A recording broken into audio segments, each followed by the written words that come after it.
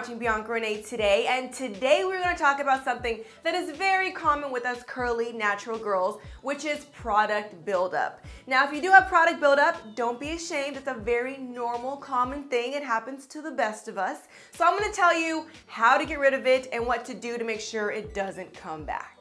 The first thing I wanna mention is there is a difference between having dandruff and product buildup. Dandruff is actually a scalp condition that is like a buildup on our hair that's actually created by yeast and is a type of eczema. Having dandruff is a little bit harder to get rid of than product buildup. Product buildup is literally just a buildup of the products that we use. Dandruff usually is a large actual flakes that you will find on your hair. If you see flakes and they might even be like a yellowish color, it's probably dandruff. Where product buildup is more of like a powdery white residue that you will see on your hair. In order to get rid of dandruff or product buildup, there are some DIY things you could do. Some people use baking soda, some people use apple cider vinegar, and some even use Listerine.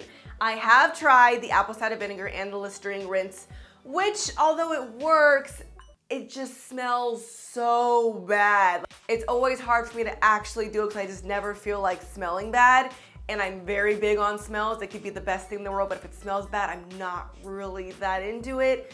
So I don't do it that often. But today I'm actually glad to announce an alternative option, which is the DevaCurl Build Up Buster. I'm so excited to announce that this is something that does actually work and gets rid of my product buildup. And I'm going to demonstrate this for you in this video. So you will see my before product buildup and then we will take a shower and then we will see the after results on how well it did. Now the first thing you might be thinking is, well, what's the difference between this and a shampoo. Like, isn't a shampoo supposed to be cleansing our scalp? Yes, it does. And using a good type of cleansing shampoo will definitely get rid of product buildup. But the special thing about this is it has a micellar water cleansing serum, which is just a fancy way of saying that it has something in it that actually attracts dirt. So it's literally pulling the dirt and product buildup from our scalp. So it's supposed to get that extra clean that maybe a shampoo might be missing. This also has Abyssinian seed oil, which is supposed to moisturize, boost shine, and actually protect the scalp. And it also has jojoba oil, which is one of my favorite oils to use, which will soften and condition our curls, and also make sure that our scalp doesn't remain dry.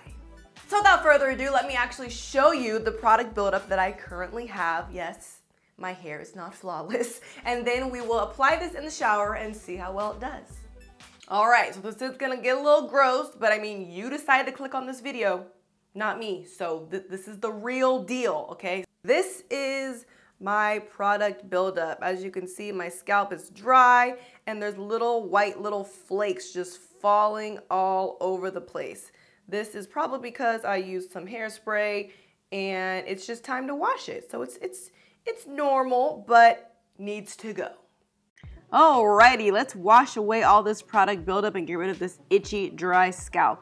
So I'm going to be washing my hair and I'm going to do a slight kind of scalp massage to loosen up the product that might be in there and just remove as much as we can even before the product. Now I'm to grab my DevaCurl Build Up Buster and I love that it has this nozzle. The nozzle makes it really easy to actually apply the product straight to your scalp. So now I'm making sure that I'm really getting in there and I'm applying the product directly to any and all problem areas.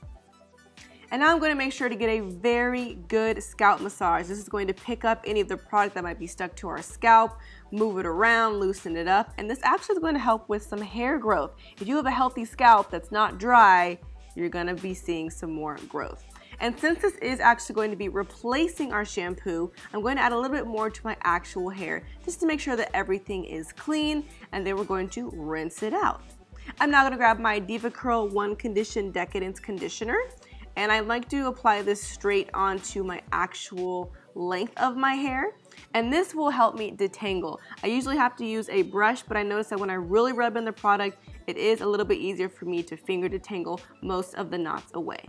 And then I'm going to just simply rinse this all out and then my hair will be beautiful, shiny, and good to go. And we're back, fresh out the shower. So now let's check my scalp and see how well it did.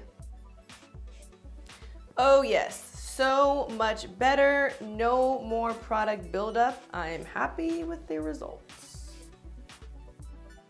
Now, one little tip that will actually help you to avoid product buildup that I learned from Lisette, aka Lisetti on YouTube, which is to apply the product more to your hair and not really on your scalp. I mean, your curls is what we want to be defined, so this is where we should focus all of our product.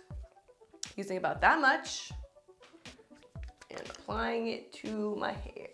So now that you know how to get rid of the product buildup, let's talk about what you should do to make sure it doesn't really come back. Now, besides this product working very well, it's also not that hard for me to get rid of my product buildup because I personally like to use products that are sulfate, paraben, and silicone free. I know you guys hear those three magic words all the time. They're not just left on bottles for fun. They actually are very relevant to the health of your hair. But the main one you wanna remember when it comes to buildup is silicone.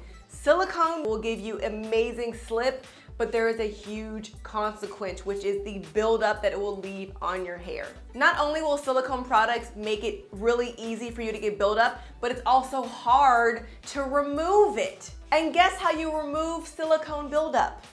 By rinsing it out with sulfate.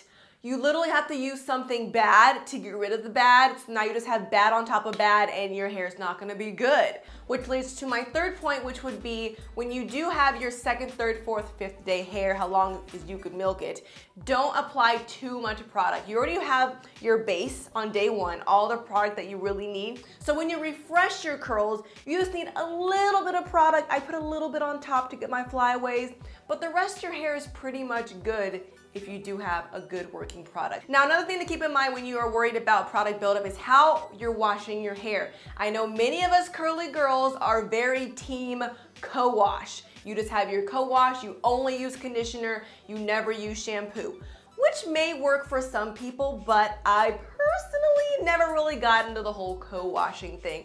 I always use a shampoo and conditioner because I think you need something that actually is going to clean your hair, clean your scalp, and then you condition with your conditioner. Now, some co-washing products actually claim to cleanse and condition your hair, which might work. I just haven't found any favorites personally. So if you're someone that only co-washes and you're getting a lot of product buildup, you might want to consider bringing back a shampoo at least every other week, but just make sure it's sulfate free. And last but not least would be obviously how often you wash your hair. I wash my hair every four to five days, depending on how long I can milk my curls. But even if my curls look fine, my scalp is usually my first indication on, hey, it's wash day, we got some buildup, we're dry, please wash us, and then I do.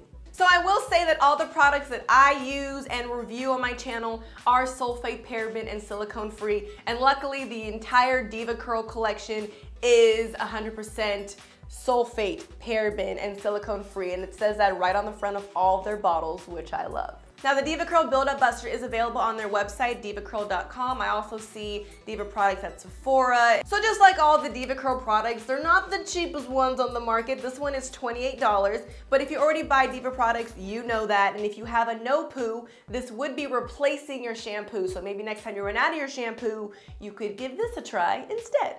If you found this video helpful, I hope that you give it a thumbs up and subscribe. I post new videos every Sunday. And make sure to follow me on all social media at Ms. Bianca Renee on Twitter, Instagram, and Snapchat, where I give you guys all the behind the scenes and you'll be the first to know about anything that I ever try in my hair.